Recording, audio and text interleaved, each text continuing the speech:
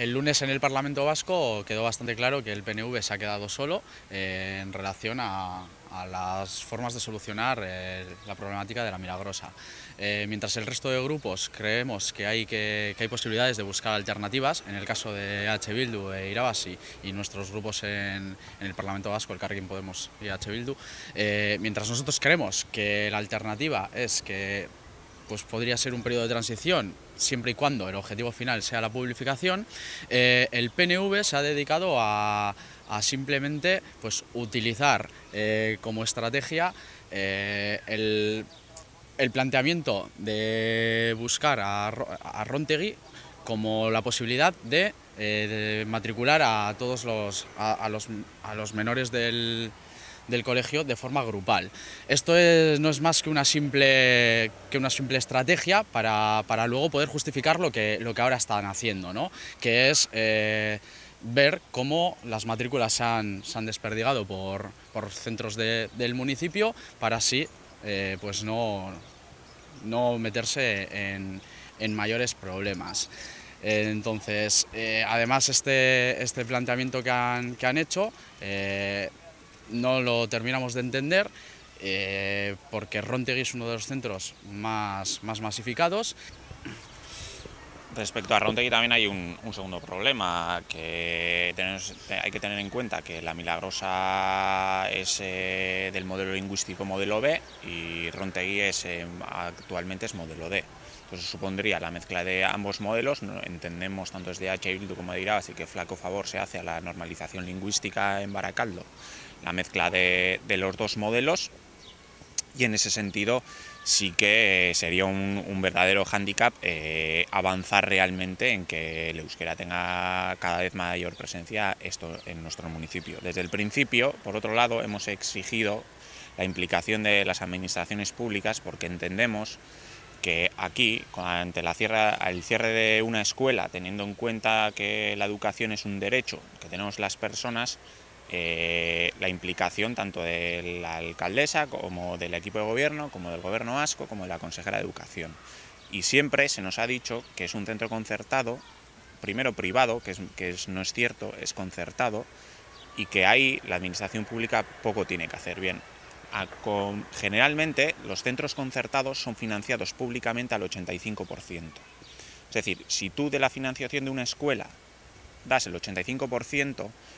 tú tienes la mayor responsabilidad, porque es el mayor, eh, el que más dinero aporta, de, de tomar decisiones. Igual que las decisiones se toman respecto al profesorado, se toman respecto al cierre o no de una escuela. Y en el caso de la Milagrosa no es una excepcionalidad, es decir, esa financiación es así. Entonces tenemos que tener en cuenta que los conciertos son, no son entes privados, sino entes de financiación mixta. Y aquí hay una responsabilidad y no la ha habido. Y no la ha habido en el sentido de que ha habido primero una absoluta falta de sensibilidad ante,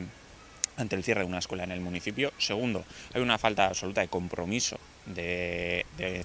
establecer un mínimo diálogo tanto con, con los padres y madres, con los trabajadores y trabajadoras no les ha importado lo más mínimo que se vaya a cerrar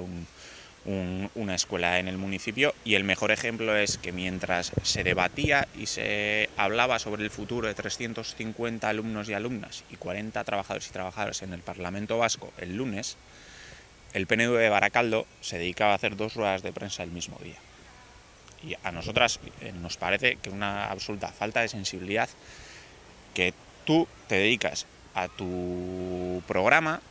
el mismo día que está debatiendo el futuro de una comunidad educativa tan sensible como es la de la Milagrosa, porque no nos olvidemos de que el proyecto educativo de la Milagrosa, con la realidad social que hay en Baracaldo, es más necesario que nunca.